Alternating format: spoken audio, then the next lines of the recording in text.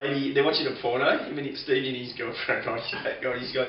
whatever they do next, let's agree we're going to do it next. And she's gone, she's sort of looking at him going, oh, you sure, you sure? And, um, oh, hang on, I better hear this.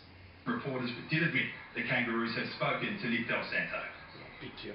Um, possibly. We don't get to meet him. yeah, yeah. Uh, sorry, That should jump off your eyes. Yeah, I did. I've spoken to Nick. Uh, a few of the players met with Nick. Um,